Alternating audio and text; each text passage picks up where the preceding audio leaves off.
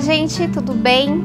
Hoje eu vim aqui para falar sobre confissão, sacramento da confissão, e também é um vídeo para você que às vezes comenta assim: eu vou me confessar com aquele padre que é pior que eu, que é mais pecador que eu. Até parece. E para que, que eu vou confessar com esse homem? Ou então você vai na missa e fica meio assim, sabe, na hora da consagração da Eucaristia, porque você olha para aquele padre e você sabe que ele é meio assim, né, meio não é muito discípulo de Cristo. E aí afeta a nossa fé, né?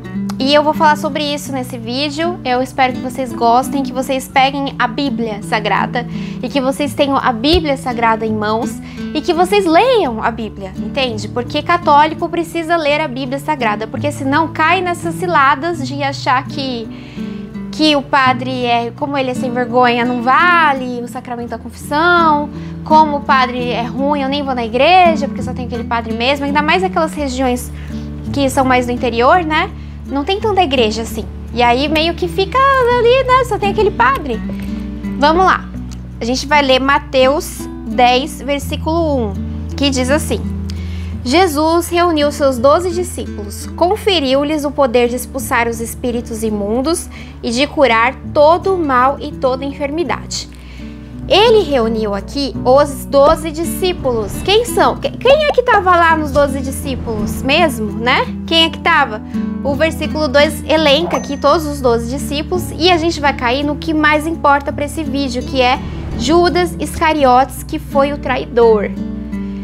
Jesus conferiu poder para Judas aqui expulsar espíritos imundos e curar todo o mal e toda a enfermidade. E ele sabia aqui que Judas ia trair ele. Jesus sabia o caráter de Judas aqui. Só que ele ordenou Judas. E veja bem, as pessoas que foram curadas por Judas aqui, elas de fato foram curadas por ele. Quem foi evangelizado por Judas foi de fato evangelizado por Judas. Eu tenho até um canal aqui, eu tenho até um vídeo aqui no canal que fala sobre isso, que Judas também evangelizou, depois você passa lá para assistir. E aqui o que, que diz, né? Que Jesus ele deu aqui o sacramento da ordem para os discípulos dele, para os apóstolos, para os doze apóstolos. Ele deu o sacramento de ordem. Tanto faz se Judas era um mau caráter ou não. Não interessa.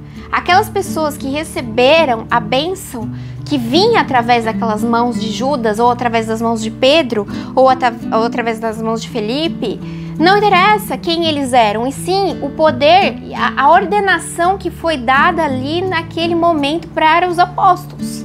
Então, quando você vai na igreja e vai fazer a sua confissão, não interessa se o padre que vai atender a sua confissão, ele é um sem vergonha.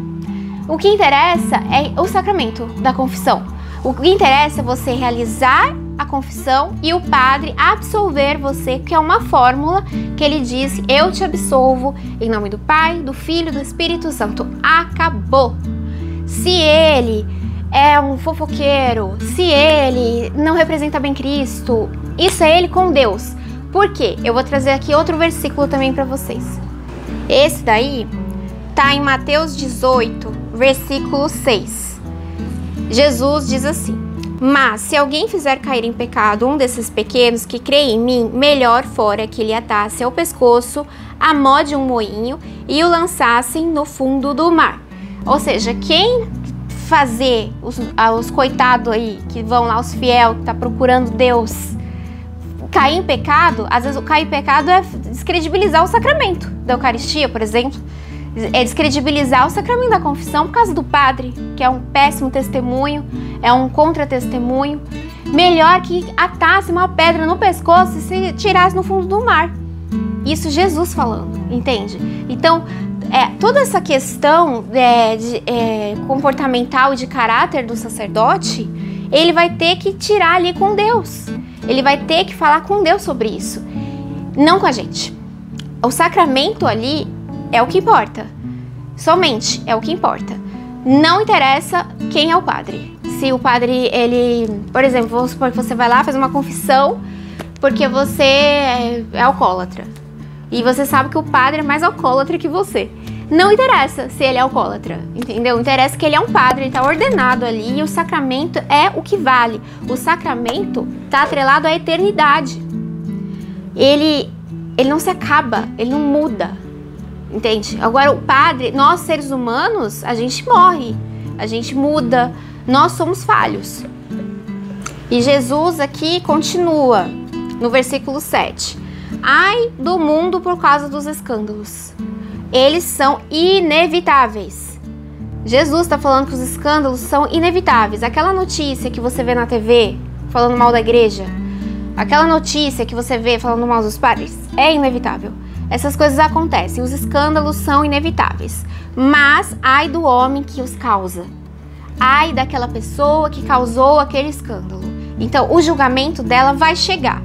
Vai chegar o dia que ela vai ter que olhar para Jesus, vai chegar o dia que ela vai ter que olhar para Deus e responder pelos atos dela. Agora, a gente como fiel não pode desacreditar nos sacramentos, porque os sacramentos eles existem e são válidos e são eternos. E aqui na Bíblia, nos evangelhos de Jesus já aconteciam essas coisas. Já estava aqui. Por isso que eu digo que o católico que não lê a Bíblia, ele ele meio que viaja, né? Não fica meio que sem saber onde é que está caminhando. Porque se a gente lê a Bíblia, a gente vê que essas coisas já aconteciam. Nós estamos no mundo e as pessoas são falhas. E os escândalos são inevitáveis, mas ai daquele que os causar. Lembrando que o sacramento da confissão, ele está literal na Bíblia. E para você aí que tá me assistindo, que diz que, ai ah, não, eu me confesso com Deus, eu não preciso me confessar com homens pecadores e mortais igual a mim. É, justifica para mim esse versículo aqui que eu vou passar, porque eu já estudei pra caramba esse versículo, nunca achei uma fundamentação é, plausível que não seja o que a igreja fala, que a igreja católica fala que é o sacramento da confissão. Tá em João 20, versículo 19 que diz assim que na tarde do mesmo dia, né, Jesus já tinha morrido, tinha ressuscitado e foi encontrar os discípulos. Na tarde do mesmo dia, que era o primeiro da semana, os discípulos tinham fechado as portas do lugar, do, local, do lugar onde se achavam por medo dos judeus. Jesus veio, se pôs no meio deles e disse-lhes: A paz esteja convosco. Dito, dito, dito isto, mostrou-lhe as mãos e o lado. Os discípulos alegraram-se ao ver o Senhor. Disse-lhe outra vez: A paz esteja convosco. Como o Pai me enviou, assim também os, os, eu os envio. Ele envia quem aqui? Os apóstolos, os discípulos. Não é aquele povo todo que seguia ele, tá? É aqui são as pessoas que foram ordenadas. São os doze. Depois dessas. Os doze não, né? Que um já traiu ele, os onze. Depois dessas palavras, soprou sobre eles, dizendo-lhes: Recebei o Espírito Santo. Eles receberam o Espírito Santo nessa hora. Aqueles a quem perdoardes os pecados, lhes serão perdoados. Aqueles a quem os retiverdes, lhes serão retidos.